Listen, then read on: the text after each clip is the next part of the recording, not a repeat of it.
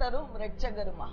இயேசு கிறிஸ்துவின் இனிய நாமத்தில் உங்கள் யாவரையும் வாழ்த்துகிறேன். பிரியமானவர்களே இந்த நாளிலும் கூட ஒரு முக்கியமான காரியத்தை நாம் பார்க்கவிருக்கிறோம். பிரியமானவர்களே நம்முடைய உள்ளமெல்லாம் வாஞ்சிக்கிற ஒரு காரியம் என்ன? என் ஜெபத்திற்கு உடனடியாய் பதில் உண்டாய் இருக்குமா என்கிற கேள்விதான் இந்த நாளிலே எங்கும் பார்த்தாலும் எல்லோருடைய உள்ளத்திலும் நிரம்பி இருக்கிறது. ஏனென்று சொன்னால் பரத்தில் இருந்து பதில் வரவில்லை என்றால் நம்முடைய வாழ்க்கையிலே அநேக காரியங்களிலே நாம் தோல்வியை சந்திக்க கூடும் நம் அருள்நாதருடைய வாசஸ்தலம் அது மகிமை நிறைந்த இடமா? அந்த வாசஸ்தலத்தின் மகிமை நாம் ஜெபிக்கும் பொழுது நம்முடைய எதற்காக ஜெபிக்கிறோமோ அந்த பகுதிகளில் எல்லாம் கடந்து வந்து அந்த பகுதிகளை அவருடைய மகிமையின் வெளிச்சம் சூழ்ந்து கொள்ளுமாம். அப்பொழுது அந்த காரியத்தில் காணப்படுகிற இருள் மாறிப்போய் நம்முடைய வேண்டுதல் கர்த்தருடைய சமூகத்தில் கேட்கப்படுமா? பிரியமானவர்களே மகிமையை இறக்கி கொண்டு வருவதுதான் ஜெபம். ஆதலால் அவருடைய மகிமையை கொண்டு வர நாம் என்ன செய்ய வேண்டும் என்று சொல்லி ஒரு சில காரியங்களை நாம் பார்க்க போகிறோம். ரெண்டு பொருந்திய நான்காம் அதிகாரம் பதினேழாம் வசனம் சொல்லுகிறது. காணப்படுகிறவைகளை அல்ல காணப்படாதவைகளை நோக்கி இருக்கிற நமக்கு அதி சீக்கிரத்தில் நீங்கிவிடும். லேசான நம்முடைய உபத்திரவம் நித்தியமான கன மகிமையை கொண்டு வருமா? உபத்திரவம் கனமான மகிமையை கொண்டு வருமா? எப்படி உபத்திரவ வேளையில் தானே நாம் கர்த்தரை நோக்கி அதிகமாய் கூப்பிடுவோம். நம்முடைய ஆவி ஆத்மா சரீரம் மூன்றும் அவரை நோக்கி கதறி கொண்டிருக்கும் அல்லவா? அப்பொழுது பரலோகத்தின் மகிமை அவருடைய சமூகத்தில் இருந்து பூரணமாய் நம்முடைய வாழ்வின் எல்லா பகுதிகளையும் நிரப்பிவிட அப்பொழுது இருள் மாறி போகும் நம்முடைய ஜெபத்திற்கு பதில் உண்டானதற்கு அடையாளம் மகிமையை நாம் பார்ப்பதுதான் நம்முடைய ஜெபத்துல மகிமை இறங்கலன்னா நம்முடைய ஜெபம் கேட்கப்படவில்லை என்றுதான் அர்த்தம். பிரியமானவர்களே சங்கீதம் நான்கு மூன்றில் பக்தனாகிய தாவியது சொல்லுகிறார் நான் கர்த்தரை நோக்கி கூப்பிடுகையில் அவர் கேட்டார். அவர் கேட்பார். நான் கூப்பிட்டேன் அவர் கேட்பார். அவ்வளவுதான். இடையிலே ஒன்றுமில்லை. நான் கூப்பிட்டேன். என் அருள்நாதர் கேட்டார். நம்மால் அப்படி சொல்லக்கூடுமா? ஒரு பக்தனை நாம் பார்க்கலாம். ஒன்று நாளாகமம் நான்காம் அதிகாரம் ஒன்பது பத்து வசனங்களில் யாபேஸ் என்று சொல்லி ஒரு பக்தனை நாம் பார்க்கிறோம். இந்த யாபேஸ் தன் சகோதரர்களை பார்க்கிலும் கனம் பெற்றவனாய் காணப்பட்டானாம்.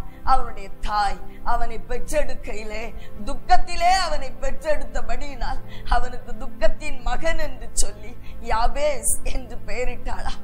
ஆனால் அந்த யாபேஸ் தன் சகோதரர்களை பார்க்கிலும் கனம் பெற்றுக்கொள்ளத்தக்க விதத்திலே இரவும் பகலும் கர்த்தரை நோக்கி கூப்பிடுகிற ஒரு ஜெப வீரனாய் மாறிவிட்டார். துக்கத்தின் மகன் ஜெப வீரனாய் மாறினான். நொறுக்கப்பட்ட பாத்திரம் ஜெப வீரனாய் மாறிவிட்டாராம் நாமும் கூட நொறுக்கத்திலும் நெருக்கத்திலும் நம்முடைய வாழ்வில் கஷ்டமான சூழ்நிலைகளிலும் அவரை நோக்கி கூப்பிடுகையிலே நம்முடைய விண்ணப்பம் உடனடியாய் உடனடியாய் கேட்கப்படும். பிரியமானவர்களே நாம் எல்லா பகுதிகளில் நெருக்கப்பட்டும் ஒடுக்கப்பட்டு கதறி சிறுமையான வேளையிலே அவரை நோக்கி கதறி கூப்பிடுகையிலே நம்முடைய விண்ணப்பத்தை அவர் உடனடியாய் கேட்பார். அப்படித்தான் யாபேஸ் கர்த்தரை நோக்கி வேண்டிக் கொண்டார். அவன் வேண்டிக் கொண்டதை கர்த்தர் அருள் செய்தார் பிரியமானவர்களே. நாமும் கூட நொறுக்கப்பட்டு நெருக்கப்பட்டு சிறுமைப்பட்டு எல்லாராலும் கைவிடப்பட்டு நடக்கிற நொந்து போன உள்ளத்தோடு அருள்நாதரை நோக்கி கூப்பிடுகையிலே நம்முடைய விண்ணப்பத்தை அவர் உடனடியாய் கேட்டு நமக்கு பதில் செய்கிறவராய் இருக்கிறார். பிரியமானவர்களே வேதத்தில் அநேக பக்தர்களை நாம் உடனடியான பதில் கொண்டு வருகிற தாசர்களாய் நாம் பார்க்கலாம். வேதம் எண்ணாகமம் பதினாறாம் அதிகாரத்திலே முப்பது முப்பத்தி ஒன்றாம் வசனங்களிலே மோசே என்கிற பக்தன் எப்படியாய் தேவ சமூகத்தில் இருந்து பதிலை உடனடியாய் பெற்றுக்கொண்டார் என்று பார்க்கலாம். தானியேலின் புஸ்தகம் ஒன்பதாம் அதிகாரம் இருபத்தி மூன்றாம் வசனத்திலே தானியேல் தீர்க்க தரிசியினுடைய முழங்கால்கள் பூமியிலே பட்ட உடனே பரலோகத்தில் இருந்து பதில் உண்டாகிச்சு எலியா தீர்க்கதரிசி ஒன்று ராஜாக்களின் புஸ்தகம் பதினெட்டாம் அதிகாரம் முப்பத்தி ஏழு முப்பத்தி எட்டாம் வசனங்களிலே எலியாவினுடைய சத்தம் தேவனுடைய சிங்காசனத்தை எட்டின உடனே பரத்தில் இருந்து பதில் உண்டாயிற்று. பிரியமானவர்களே உடனடியான பதில். தேவதாசர்களுடைய முழங்கால்கள் இந்த தரையில பட்ட உடனே பட்ட மாத்திரத்துல அவர்களுடைய குரல் தேவனுடைய சமூகத்தை எட்டின மாத்திரத்துல பதில் உண்டாயிச்சா எத்துணை அருமையான காரியம் பார்த்தீர்களா? நம்முடைய வாழ்க்கையிலையும் கூட. அப்படிப்பட்ட பதிலை நாம் பெற்றுக்கொள்ள நாம் என்ன செய்ய வேண்டும் என்று சொல்லி மூன்று காரியங்களை நாம் பார்க்கவிருக்கிறோம். முதலாவதாக தேவனை அறிகிற அறிவு நமக்கு உடனடியான பதிலை கொண்டு வரும். அறியாமை இருள் பதிலை தாமதப்படுத்திவிடும். இரண்டாவதாக விசுவாசமும் அன்பும் விசுவாசமும் அன்பும் எங்கு காணப்படுகிறதோ அது பரலோகத்தை அப்படியே திறந்து விடும் பிரியமானவர்களே. ஆதலால் பதில் உடனடியாய் புறப்பட்டு வரும். மூன்றாவதாக பரிசுத்தம். தேவன் பிரியப்படுகிற பரிசுத்தம் எங்கு காணப்படுகிறதோ அவர்களும் பதிலை உடனடியாய் பெற்றுக்கொள்வார்கள். பிரியமானவர்களே வேதம் சொல்லுகிறது உடனடியாய் பதிலை கொண்டு வருகிற காரியங்கள் என்ன? முதலாவது அவரை அறிகிற அறிவு.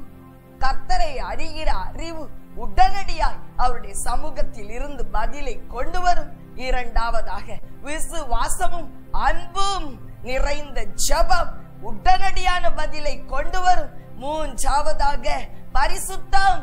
தேவன் விரும்புகிற பரிசுத்தம். அவர் பரிசுத்தர் அல்லவா? ஆதலால் அவர் விரும்புகிற பரிசுத்தம் உடனடியான பதிலை கொண்டு வரும். வேதம் சொல்லுகிறது. முதலாவதாக அவரை அறிகிற அறிவுதான் அவருடைய சமூகத்தில் இருந்து நமக்கு பதிலை கொண்டு வரும். அறியாமை இருள் எங்கு காணப்படுகிறதோ அங்கு பதில் வருவது தாமதமாகிவிடும் பிரியமானவர்களே. ஏசையா தீர்க்கதர்சியின் புஸ்தகம் ஐந்தாம் அதிகாரம் பதிமூன்றாம் வசனம் சொல்லுகிறது. என் ஜனங்கள் அறிவில்லாமையார் சிறைப்பட்டு போகிறார்கள். ஓசியா தீர்க்கதர்சியின் புஸ்தகம் நான்காம் அதிகாரம் ஆறாம் வசனம் சொல்லுகிறது. என் ஜனங்கள் அறிவு இல்லாமையால் சங்காரம் ஆகிறார்கள் அழிவு சங்காரம் இதெல்லாம் எதனால் உண்டாகிறதா? அறிவில்லாமே. என்ன அறிவு? ஒருவேளை உலகத்துல எப்படி நாம சேர்த்து வைக்கிறது அப்படிங்கிற அறிவா? இல்லவே இல்லை பிரியமானவர்களே. கர்த்தரை அறிய வேண்டிய விதத்திலே அறிந்து கொள்ளுகிற அறிவு இல்லை என்றால் நிச்சயமாய் நம்முடைய ஜபத்திற்கு பதில் தாமதமாகும் பிரியமானவர்களே. அவரை அறிந்து கொள்கிற அறிவு அது மிகுந்த வாசனையானது.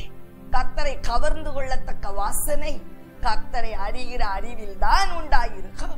நம்ம ஒருவேளை வேதத்துக்கு முன்னாடி உட்கார்ந்து இரவும் பகலும் அந்த வேத வாக்கியங்களை நாம் தியானிக்க கூடுமானால் அது பெரிய ஜெபம். நீங்க மூணு மணி நேரம் தியானத்திற்கு பிறகு ஐந்து நிமிடம் ஜபித்தால் போதும். தேவன் அது சந்தோஷப்படுத்தும். ஏனென்று சொன்னார். இந்த வார்த்தை அது பிதாவுக்குரியது. என் அருள்நாதர் சொல்லுகிறார் என் அப்பாவுடைய வார்த்தை இது என் அருமை பிதாவுடைய வார்த்தை. அந்த வார்த்தையை நாம் கனப்படுத்தும் பொழுது அந்த வார்த்தையை நாம் இரவும் பகலும் இடைவிடாது உட்கொண்டு அந்த வார்த்தையை நாம் தியானிக்கும் பொழுது அதிகமான சந்தோஷம் பரலோகத்திலே உண்டாயிருக்கும். பதிலும் விரைந்து ஓடி வரும் பிரியமானவர்களே ஆதலால் கவலைப்படாதிருங்கள். நம் அருமை பிதாவை ஆவியோடு உண்மையோடு நாம் தொழுது கொள்ள கூடுமானால் நாம் தான் பாக்கியவான்கள்.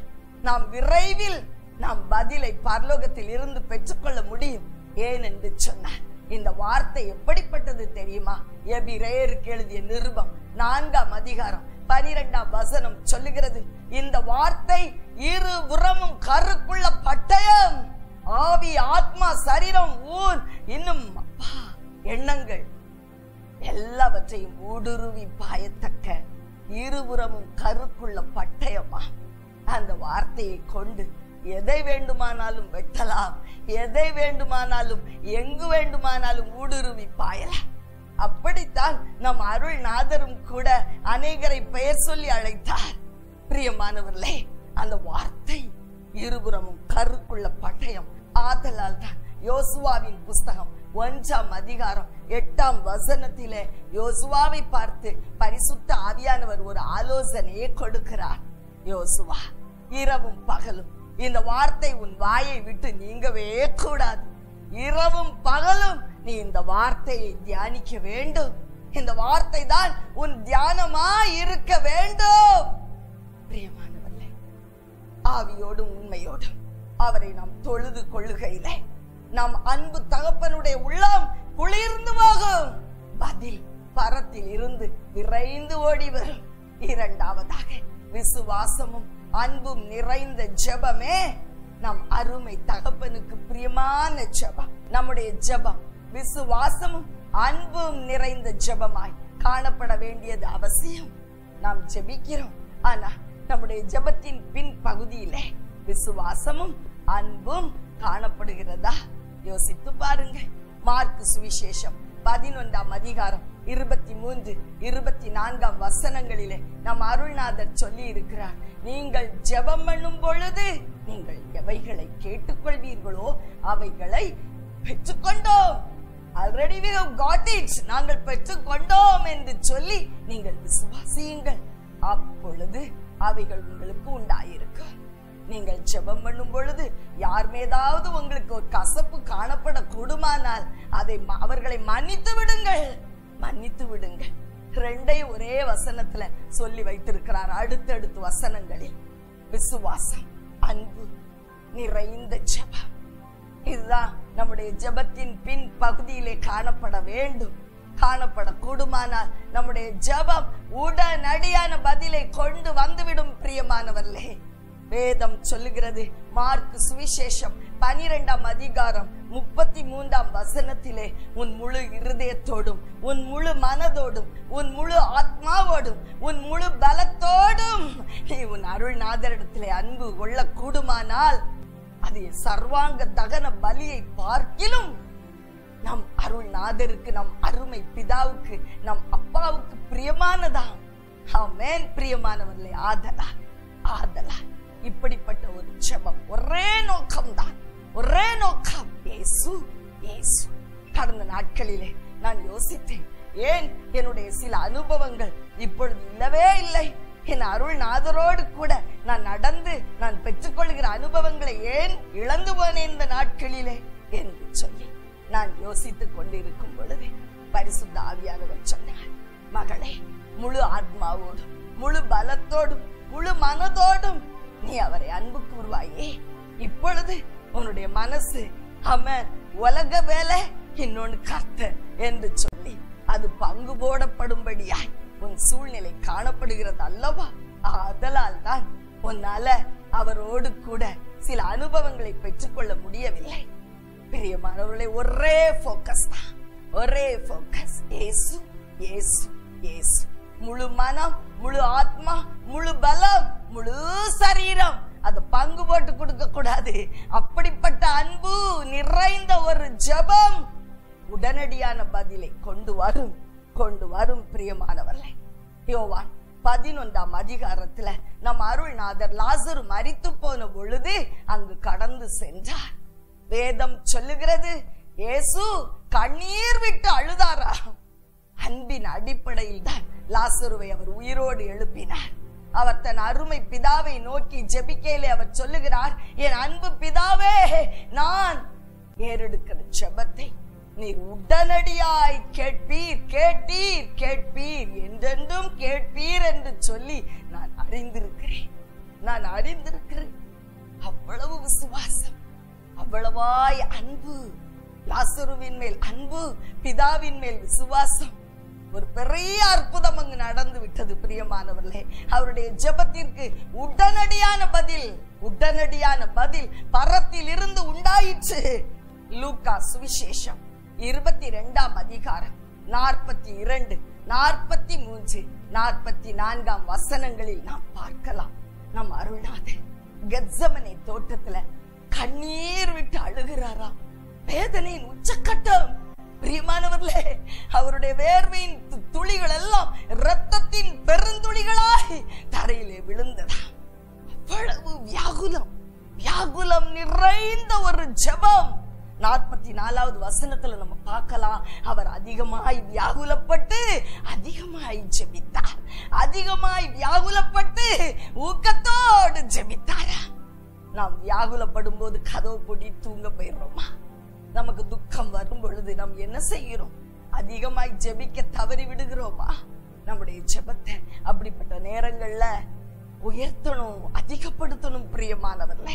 அந்த வேளைகளிலே நம்முடைய ஜெபம் உடனடியாய் கேட்கப்படும். அன்பு நிறைந்த ஜெபம். நீங்க அன்பு கூர்ந்து ஜெபிக்கும் பொழுது தேவன் பதில் கொடுப்பார்.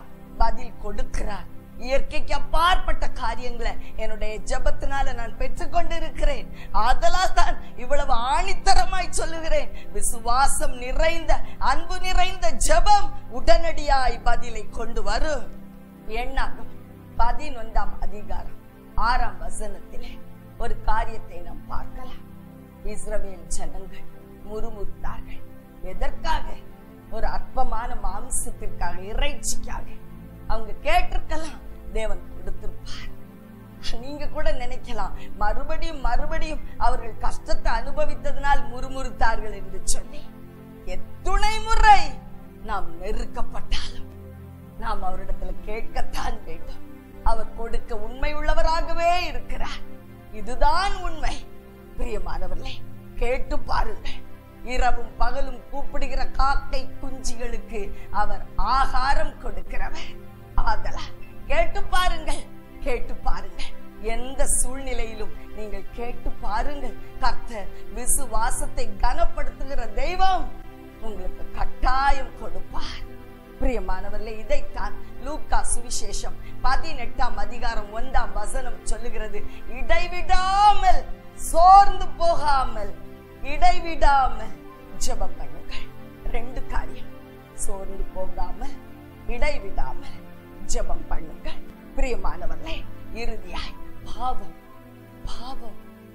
நம்முடைய ஜெபத்திற்கு ஒரு பெரிய தடை பரிசுத்தம் எங்கு காணப்படுகிறதோ அங்கு உடனடியான பதில் உண்டாயிருக்கும். சங்கீதம் முப்பத்தி ரெண்டு ஐந்து ஆறு ஏழாம் வசனங்களில் நாம் பார்க்கலாம். நான் என் பாவங்களை அறிக்கையிட்ட பொழுதோ வெள்ளம் என்னை சூழ்ந்து வந்தாலும் கூட தப்பித்துக் கொள்ளத்தக்கதான கிருபை வெளிப்பட்டது. பிரியமானவர்களே உடனடியான பதில் உடனடியான பதில் வேதம் சொல்லுகிறது. லூக்கா சுவிசேஷம் பத்தொன்பதாம் அதிகாரம் எட்டு ஒன்பது வசனங்களிலே அவன் ஆயக்காரனான சகையு வட்டிக்காரன் கொடுமையான வட்டி வாங்குறவன். அவன் கர்த்தரை பார்த்த பொழுது நம் அருள்நாதரை பார்த்த பொழுது வெளிச்சத்தை பார்த்த பொழுது தெய்வத்தை பார்த்த பொழுது அவனுடைய ஆவியிலே ஒரு விழிப்பு உண்டானது ஒரு தொடுதல் ஒரு ஆழமான தொடுதல் அக்னி தொடுதல் தன்னுடைய வாழ்வை விட்டு கொடுத்தான். அவன் சொன்னான் அப்பா நான் யாரிடத்தில் ஆவது அநியாயமா ஏதாவது வாங்கினா நான் அதை நாலு மடங்கு திருப்பி கொடுக்கிறது மாத்திரமல்ல. என் ஆஸ்திகளில் பாதி என ஏழைகளுக்கு கொடுக்கிறேன். அவ்வளவு சந்தோஷம். தெய்வத்தை பார்த்த உடனே அவ்வளவு சந்தோஷம். நம்மளுக்கெல்லாம் அப்படி சந்தோஷம் வருமா? அவன் வேணாலும் கொடுக்கலாம் அப்படிங்கிற சந்தோஷம் வருமா பிரியமானவர்களே?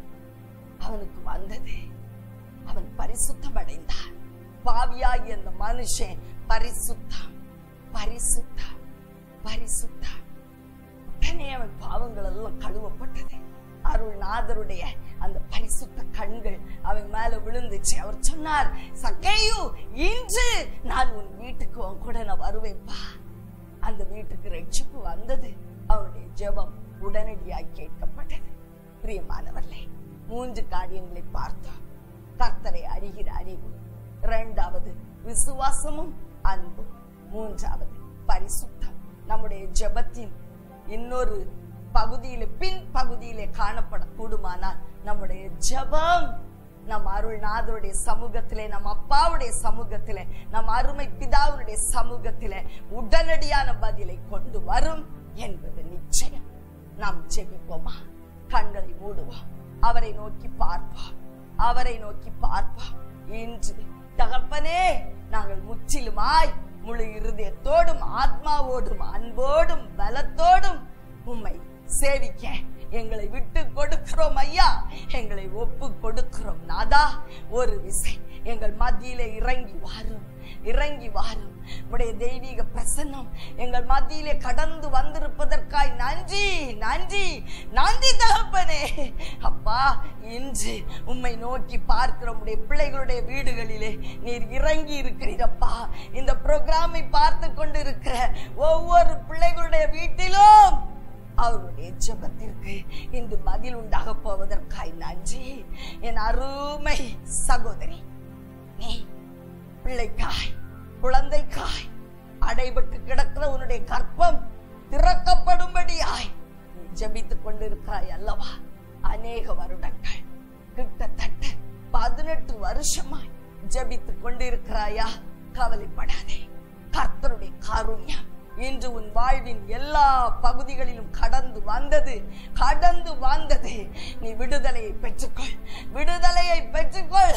விடுதலையை பெற்றுக்கொள். விடுதலையை பெற்றுக்கொள். எஸ் அப்பா உமக்கு ஸ்தோத்திரம். அப்பா உமக்கு ஸ்தோத்திரம். அப்பா உமக்கு ஸ்தோத்திரம். என் ஜனங்களை நீ விடுதலை ஆக்குகிற அந்த நல்ல வேலைக்காய் உமக்கு நன்றி செலுத்துகிறேன் அப்பா. இந்த டிவி புரோகிராமை பார்த்து கொண்டிருக்கிற என் அன்பு சகோதரனே பக்தனாகிய மோசேயினுடைய பெயரை நீ தரித்து கொண்டிருக்கிறாய். கர்த்தருடைய ஆவியானவர் சொல்லுகிறார் எஸ் இனம் கண்டு கொள்ள முடியாத ஒரு பயம் இரவும் பகலும் உன்னை துரத்தி கொண்டிருக்கிறது அல்லவா நீ விடுதலை பெற்றாய் விடுதலை பெற்றாய். விடுதலை விடுதலை. அநேகருடைய வாழ்விலே மகிமை இறங்கி கொண்டிருக்கிறது. மகிமை மகிமை பரலோகத்தின் மகிமை தேவ மகிமை தேவ மகிமை தேவ மகிமை தேவ மகிமை தேவ மகிமை தேவ மகிமை. வீடுகளுக்குள் வீடுகளுக்குள் ஆவி ஆத்மா சரீரத்திற்குள் இறங்கி கொண்டிருக்கிறது இறங்கி கொண்டிருக்கிறது தோல்வியான காரியங்களில் எல்லாம் இன்று ஜெயம். அப்பா உம்முடைய ஜனங்கள் உம்மை நோக்கி கதறி கொண்டிருக்கிறார்கள் ஐயா. எங்கு விடுதலை? எப்பொழுது விடுதலை? எப்பொழுது விடுதலை? எங்களால தாங்க முடியவில்லை என்று சொல்லி கதறி கொண்டிருக்கிறார்களே பதில் செய்தீராக தெய்வமே. உடைய கரத்தை உடைய வேலைக்காரி நான் ஒரு விசை அசைக்கிறேன் அப்பா. அசைக்கிறேன் ஐயா. அசைக்கிறேன். ராஜா மனம் இறங்கி உம்முடைய ஜனத்திற்கு விடுதலையை தாரும். நீ தந்து கொடுத்ததற்காய் நன்றி. என் அன்பு ஜனமே உங்களுக்கு தேவையான விண்ணப்பங்களை இப்பொழுது நீங்க உங்க ராஜா கிட்ட கேளுங்க. ஏசு மகாராஜா உங்க வீட்டுல உங்க மத்தியில உன் அருகிலே கடந்து வந்திருக்கிறார் கடந்து வந்திருக்கிறார் கடந்து வந்திருக்கிறார் அவருடைய திவ்ய பிரசன்னம் உன்னை மூடிக்கொண்டிருக்கிறது. உன் வீட்டின் எல்லா பகுதிகளிலும் இறங்கி கொண்டிருக்கிறது. நோயோடு தன் கணவனுக்காக அழுது கொண்டிருக்கிற அன்பு சகோதரியே மரண படுக்கையிலே உன்னுடைய கணவனை நீ வைத்துக் கொண்டு அழுது கொண்டிருக்கிறாய் கர்த்தருடைய ஆவியானவருடைய வல்லமை அவருடைய சரீரத்திற்குள்ளாய் பாய்ந்து கொண்டிருப்பதை பார்க்கிறேன். உன் கணவனுடைய சரீரத்திலே கேன்சர் இல்லை. கேன்சர் வெளியேறு! இயேசுவின் நாமத்தில் I bind you and I throw you in the bottomless pit you cancer spirit in Jesus mighty name in Jesus அப்பா அப்பா உங்களுடைய வெளிச்சம் உங்க வெளிச்சம் யா உங்க வெளிச்சம். வீடுகள் தோறும் இல்லங்கள் தோறும் உள்ளங்கள் தோறும். பிரகாசிப்பதை பார்க்கிறேன் பிரகாசிப்பதை பார்க்கிறேன். திருமண தலையோடு அழுது கொண்டிருக்கிற அநேகரை பார்க்கிறேன். என் அன்பு பிள்ளைகளுடைய திருமணம் வாய்க்கட்டும் ஐயா நீர் செய்யும் அப்பா. அப்பா இந்த வருடத்திலே என் பிள்ளைகள் திருமணத்தை திருமண வாழ்வை கண்டு அடைவார்களாக. அப்படியே செய்கிறீரப்பா. உமக்கு நன்றி உமக்கு நன்றி உமக்கு நன்றி உமக்கு நன்றி. உமக்கு நன்றி உமக்கு நன்றி. அநேகருடைய கண்கள் இன்று திறக்கப்படுவதற்காய் நன்றி. மாம்ச கண்களை திறக்கிறீர். ஒளி ஒளி. அடைவிட்டு கிடக்கிற உன்னுடைய கண்களுக்குள்ளாய் ஜீவ ஒளி ஜீவ ஒளி. அம்மா உயிர் தரும் ஒளி உயிர் தரும் ஒளி உயிர் தரும் ஒளி. இறங்கிக் கொண்டு இருக்கிறது ஆவிக்குரிய கண்களை நீ திறக்கிறீர் அப்பா. சத்தியத்தை அறிந்து கொள்ள உதவி செய்யும். நீர் அப்படியே செய்கிறீர். அப்படியே செய்கிறீர். உமக்கு நன்றி. உமக்கு நன்றி. உமக்கு நன்றி. உமக்கு நன்றியே சுவை அப்பா நீர் எல்லாருடைய அருகிலும் இன்று பிரசன்னராய் கடந்து வந்திருப்பது உண்மை அல்லவா உம்முடைய பிள்ளைகள் தங்களுடைய விண்ணப்பங்களை உங்களிடத்தில் தெரியப்படுத்துகிறார்கள். இந்த வேளையிலே அவரை நோக்கி நீ கூப்பிடு. உன் விண்ணப்பத்தை ஏறிடு. அவர் உனக்கு பதில் கொடுக்கிற வேளை அவர் உனக்கு பதில் கொடுக்கிற வேளை. எஸ் மாஸ்டர் உமக்கு நன்றி. உம்முடைய இரக்கத்திற்காய் நன்றி. உம்முடைய மகிமையின் பிரசன்னத்திற்காய் நன்றி. அப்பா பிதாவே உமக்கு நன்றி. ஏ கிறிஸ்துவே ஈடு இணையற்ற இன்ப நாமத்தில் குடும்பம் குடும்பமாய் பேர் பேராய் உம்முடைய கரத்தில் ஒப்பு கொடுத்து செபிக்கிறேன். ஏசு கிறிஸ்து